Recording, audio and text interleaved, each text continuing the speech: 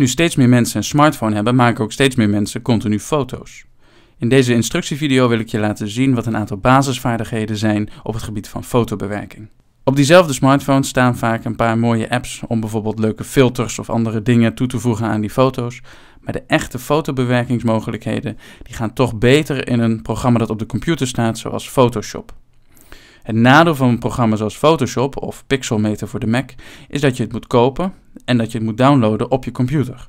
Een alternatief hiervoor is het programma Sumo Paint, dat helemaal in de browser online beschikbaar is. Op internet ga je naar www.sumopaint.com en daar kom je op deze pagina terecht. Zoals je ziet kun je hier inloggen met een gebruikersnaam als je die aanmaakt of met je Facebook, Google of Twitter account. Maar het is ook mogelijk om zo zonder account gebruik te maken van Sumo Paint. Daarvoor klik je op de grote knop online proberen. Zodra je Sumo Paint hebt opgestart, ziet het er eigenlijk uit zoals ook Photoshop eruit ziet. Als je het fijn vindt, kun je als eerste de taal instellen, linksbovenin. Deze staat standaard op Engels, maar ook Nederlands is beschikbaar. Vervolgens staat er een leeg wit canvas waar je zou kunnen gaan tekenen, maar ik wil nu een foto bewerken die ik al heb gemaakt en die op mijn computer staat. Die ga ik openen. Dat doe ik via bestand, openen vanaf mijn computer en ik open de betreffende foto.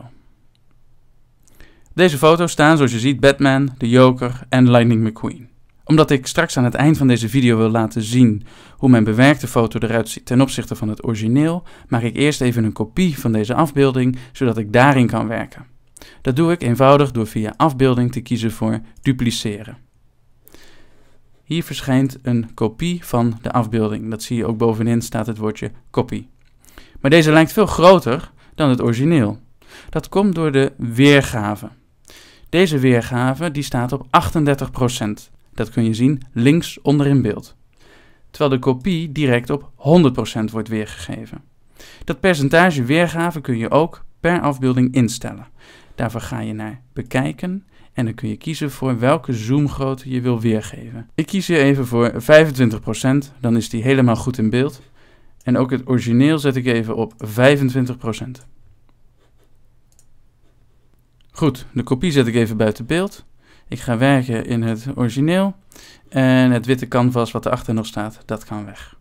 Het eerste wat ik wil doen is Lightning McQueen uit deze afbeelding weghalen. Want ik ben eigenlijk helemaal niet blij dat hij op de foto is gekomen. Ik wil inzoomen op Batman en de Joker. En dat betekent dat ik het canvas, het doek waarop de foto staat, wil gaan bijsnijden. Dat kan op verschillende manieren. Dat kan via het menu door te gaan naar afbeelding en te kiezen voor de canvasgrootte. Dan komt er een pop-up. Bij die pop-up kun je aangeven hoe breed of hoe hoog het canvas moet zijn en ook vanuit welke hoek je die pixels wilt tellen. 1 pixel is trouwens één stipje op je computerscherm. Je kunt dat doen door het schuifje van links naar rechts te bewegen of je kunt een getal ook intypen. Dus kijken wat er gebeurt als ik het canvas verklein naar 1000 pixels breed en ik klik het vakje verhoudingen aan, dan maakt hij automatisch de hoogte, uh, past hij ook aan, uh, zodat het in verhouding blijft. Ik laat hem dus bijsnijden vanuit het midden en ik klik op OK. En mijn canvas is heel erg verkleind. Sterker nog, het is zodanig verkleind dat er bijna niks meer op de foto staat. Ik kies even voor ongedaan maken. Bewerken, ongedaan maken of Ctrl-Z. Even terug naar de juiste grootte. Op deze manier het bijsnijden van je canvas kan wel ingewikkeld zijn. Het kan gelukkig ook makkelijker. In het menu links kies ik voor het selectietoeltje. Ik krijg nu een soort richtertje waarmee ik een selectie kan maken. Ik selecteer het deel wat ik wil behouden. En vervolgens ga ik naar afbeelding en ik kies voor crop. En nou knipt hij dat uit. Het volgende wat mij opvalt is dat de grond waarop Batman en de Joker staan niet recht loopt, maar schuin. Ik wil mijn foto dus enigszins draaien. Om dat te doen wil ik hem transformeren. Ook dat kan. Ga ervoor naar bewerken bovenin het menu en kies voor vrij transformeren. Er verschijnt een soort kader om de afbeelding en op deze manier kan je je afbeelding groter en kleiner maken als je de muis ingedrukt houdt. Je kunt hem zelfs spiegelen als je dat zou willen. Maar ik wil hem nu vrij transformeren. Wat ik nu heb gedaan wil ik niet toepassen. Ik kies bovenin voor annuleren. Maar ik wil hem wel op een andere manier transformeren. Bewerken, vrij transformeren. En nou zie je, als ik zweef met de muis op zo'n hoekje, dan komt daar de zwarte pijl om hem groter of kleiner te maken. Maar als ik hem iets naar de buitenkant toe beweeg, dan komt daar een rond pijltje. Als ik hem nu indruk, kan ik mijn afbeelding, als ik de muis vasthoud, draaien. Dan moet ik nog bevestigen, dus bovenin kies ik voor transformeren, toepassen. Om er nu voor te zorgen dat de lelijke witte hoekjes aan alle buitenkanten weg zijn, kies ik wederom voor het selectietoeltje. Met het selectietoeltje selecteer ik het deel wat ik wil behouden en ik kies voor afbeelding en crop. En mijn foto is keurig recht en bijgesneden tot dat formaat wat ik wil hebben. Ondertussen is hij zo klein geworden dat ik hem even iets groter maak. Via zoom zet ik hem even op 50%, maak het venster ietsje groter. En nu ga ik de kleuren een beetje aanpassen. Redelijk eenvoudig. Ik ga naar aanpassingen. Dan kun je kiezen voor allerlei verschillende aanpassingen die je wil maken. Ik laat de bovenste even zien, de helderheid en de contrast. Er komt weer een pop-up en met het schuifje kan je de foto donkerder maken of lichter, wordt hij erg overbelicht. En ook het contrast kun je toevoegen. Je maakt hem of flatser of je maakt hem expressiever. Nog een mooi om er even uit te pikken is via aanpassingen, tint en verzadiging.